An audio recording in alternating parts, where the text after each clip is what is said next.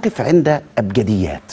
الوصول لحالة آه، تزكية النفس ال- الرجوع للتصوف. هل الحل في الرجوع إلى التصوف؟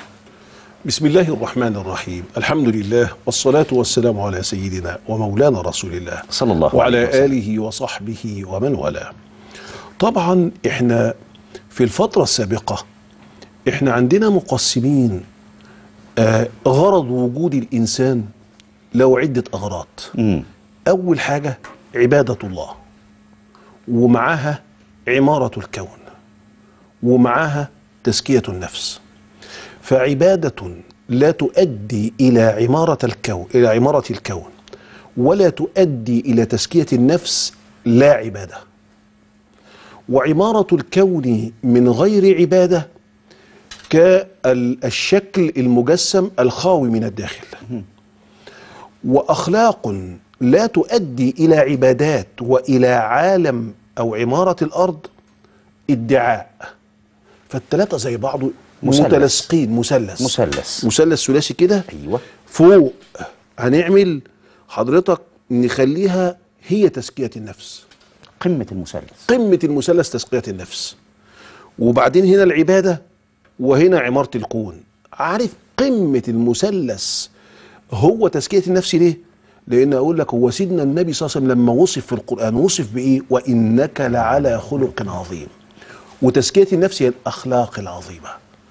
فلذلك لما جت التيارات المتطرفة لما جه غير المتخصصين لا هم عملوا عبادة حقيقية ولا هم ساعدوا على عمارة الكون بل يريدون أن يرجعوا بنا إلى القرون الأولى بالبيئة التي كانوا يعيشونها وده ضد التطور ضد سنن الله في الكون.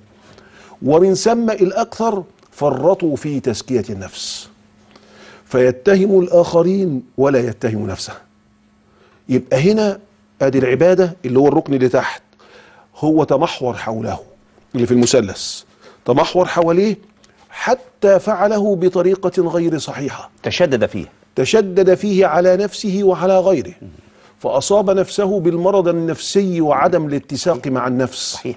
وأصاب الآخرين بالتشدد وفي نفس الوقت بعدم المصداقية فيه بعد أن سقط قناعه.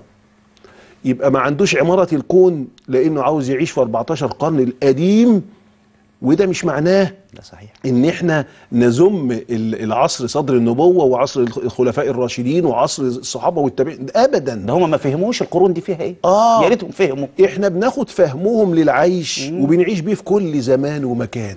ودي النصيحه أن تأخذ فهم الخلفاء الراشدين والتابعين والسلف الصالح وتعيش به مقتضيات حياتك وعصرك بما يحقق مصلحتك وبما يرضي ربك. المنهج.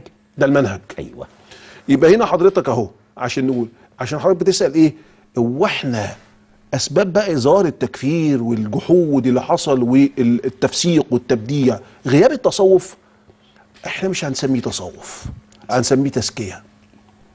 هنسميه مقام الإحسان. هنسميه مقام التقوى. ألا إن أولياء الله لا خوف عليهم ولا هم يحزنون؟ الذين آمنوا وكانوا يتقون. يعني هنا هنعرف وهن وهن وهنقف على معنى حقيقي لكلمة التصوف. عشان البعض اللي ليه أزمة مع كلمة تصوف لا اعرف المعنى الحقيقي عشان تزيل هذا اللبس وهذه الأزمة. لا اول ما تلاقي واحد صاحب خلق اعرف إن هو واخد حتة من مقام الإحسان. تمام. عنده تزكية نفس عنده شوية تقوى عاوز تقول عليه متصوف قول. خلاص؟ إحنا مش هنقف مع الأسماء. صحيح. المهم بالمسميات بالمضمون. الله. آه فإحنا لما نشوفه كده يبقى لأن عرفوا التصوف قالوا إيه؟ قالوا هو التخلي تبعد عن كل خلق دني. دنيء سيء قبيح. والتحلي بكل خلق سني. الله. قالوا التصوف اطراح حظ النفس مع بقاء حق الرب عز وجل الله. وحق الآخرين. لما تقرأ كده معاني التصوف بس هي المشكلة إن الناس بتاخد التصوف من ناس مدعية للتصوف. لا التصوف عمل. عارف التصوف ممكن نمحوره في حاجتين حضرتك قلتهم في المقدمة. إيه هي بقى؟ إذا لم يكن لكلامك فائدة فاسكت فليقل خيرا أو ليصمت. فإذا وجدت له فائدة يبقى هنا فاتقوا الله وقولوا قولا سديدا. يبقى سكوت أو قول وفعل سديد. إن عملت كده يبقى أنت راجل صوفي. يبقى أنت من صاحب مقام الإحسان. يبقى أنت صاحب التزكية. الله. ونفس وما سواها فألهمها فجورها وتقواها. قد أفلح من زكاها. الفلاح كله اللي يزكي نفسه هو مقام التزكية. لذلك لما وجد بقى الطارات التكفيرية والتفسيقية والتبديعية دول كان بسبب إن ما عندهمش حتة تزكية النفس. بيعملوا بأشكال العبادات لا بروح العبادات. فيجي تقف جنبيه في الصف يقول لك خلي رجلك مدزوقة كده ويتعنت معاك في الوقوف. يجي ما في الصيام أو في اللبس يقول لك لازم تلبس الزي الفلاني. يجي في أي حاجة تلاقيه متشدد فيها. أقول له ده الأمر أهون من كده. أنت لا ترى الأشكال وإنما ترى رب الأشكال. اللي هو الخالق سبحانه وتعالى.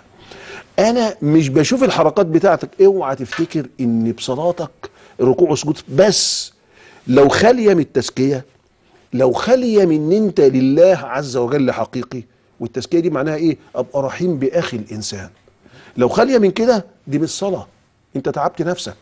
لذلك قال من لم يدع قول الزور والعمل به الكذب وهو صايم فليس لله حاجة في أن يدع طعامه وشرابه. يقول له سيب بقى الأكل والشرب. أنت سايب أكلك وشربك وما بتاكلش ليه في الصيام؟ ما أنت بتكذب.